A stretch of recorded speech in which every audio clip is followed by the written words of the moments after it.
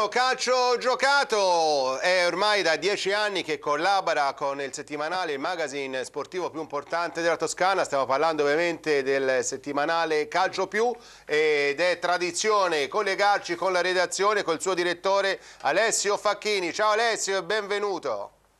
Buonasera a tutti, buonasera e benvenuto a tutti. Allora, come me sempre vicino c'è Marco Morelli, conosci molto bene, e Marco Materassi della Gazzetta Lucca e Carrara. Allora, un'annata molto particolare, però ho visto anche qualche tuo intervento, più tardi sentiremo anche la voce di Paolo Mangini, intanto il giornale è ripartito alla grande, che gli ultimi numeri sono stati veramente importanti. Sì, noi abbiamo cercato di rendere un servizio a tutto il calcio dilettantistico giovanile della Toscana attraverso approfondimenti, attraverso la cronaca delle varie partite, attraverso servizi speciali. E abbiamo cercato ecco, di smentire anche quei vuoti che oggettivamente esistono, ci sono. Ormai il nostro è un giornale che ha 40 anni di storia e nonostante le difficoltà che un giornale ha, e, mh, basta guardare un po' il calo delle, nelle edicole, eccetera, eccetera, però siamo dati anche dire, una maggiore credibilità anche da un punto di vista organizzativo e anche da un punto di vista di argomenti diciamo, di, nel computo generale di quello che deve essere necessariamente un giornale che si riferisce al calcio giovanile e al calcio divertente. Eh, ciao Alessio, sono Marco Morelli. Ecco, Marco, buonasera. Buonasera a te. Eh, senti Alessio, volevo appunto dirti, questa eccellenza divisa in tre gironi, secondo te ha comportato un beneficio per il, per il non per il tuo giornale ma anche per il campionato stesso? Ecco. Mi sembra un po' campionati troppo, troppo, brevi, ecco, anche no, parlando con... Credo che, che il fatto di farlo in tre gironi non sia calcio, questo è un elemento, però credo che nello stesso tempo bisogna anche sottolinearlo in una situazione del genere come, come quella attuale, sostanzialmente se non si fa in tre gironi si rischia veramente di non finire un campionato.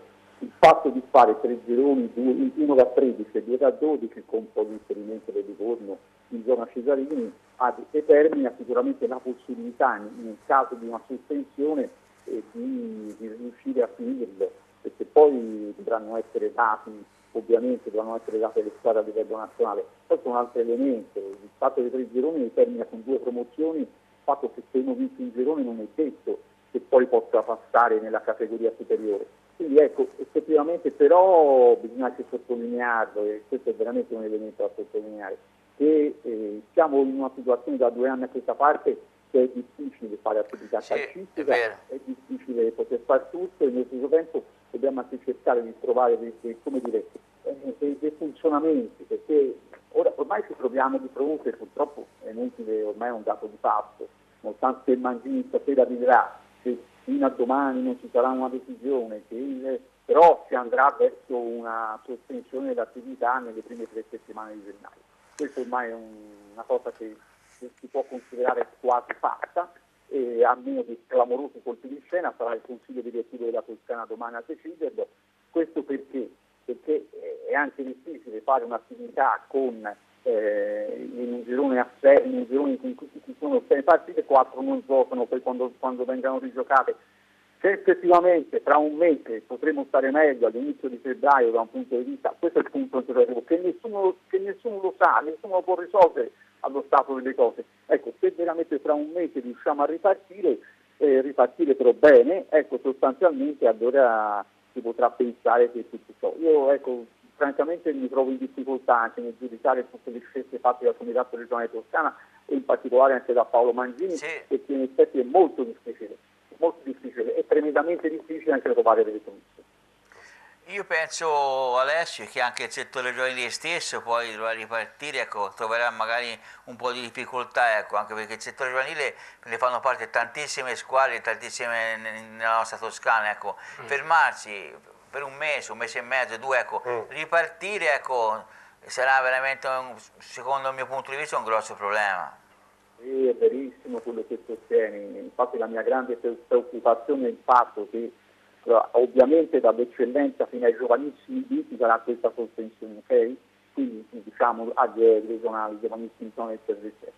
C'è una sospensione che si limita sostanzialmente alle tre settimane, alle quattro settimane, cerchiamo di essere ancora più caotici. Alle 5 settimane, ecco, forse in effetti, mettendo una decisione governativa o di un ente come potrebbe essere la Lega Nazionale Dilettanti, eccetera, eccetera, gli allenamenti si possono fare.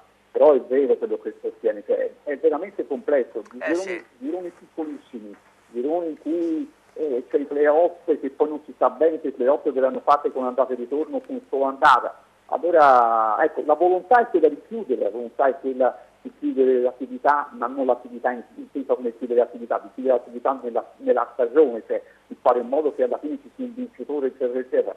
Però la, la difficoltà è tanta e dire, i problemi sono veramente molteplici e nello stesso tempo fanno pensare che ecco, boh, non lo so cosa potrà succedere tra un mese, francamente non lo so, non, non lo sa nessuno, credo che però fondamentalmente è una delle scelte. Io personalmente, come ho anche scritto, il giorno 9, che sarebbe domenica, domenica dopo, dopo l'inizio dell'anno, io avrei tentato di, non ti dico di, di, di gioca- di giocare tutte, tutt'altro, cioè positivi, ovviamente oltre tre positivi non si giocano le gare, però Ah. ecco, avrei tentato come dire, di fare un po' da cartina di tornasole, di capire che su 250 gare dalla, dall'eccellenza fino alla seconda categoria, poi metti altri 300 nel settore giovanile regionale, metti altri Eh, sì. 300 nel, nel- nel giovanile provinciale, qual era l'incidenza? Eh, qual era l'incidenza?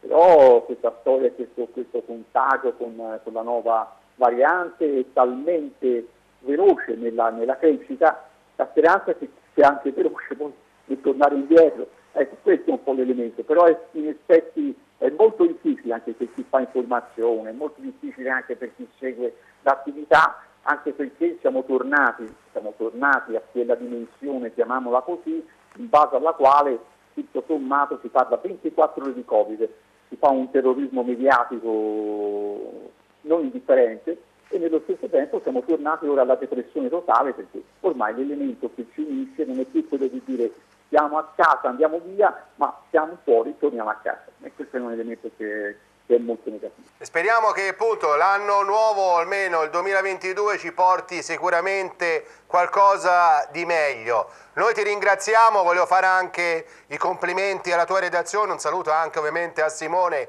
che ci sentiamo quasi tutte le settimane e quindi con noi ormai, come ho detto in premessa, da oltre dieci anni, Alessio Facchini, direttore di Calcio Più, tanti auguri a tutti voi.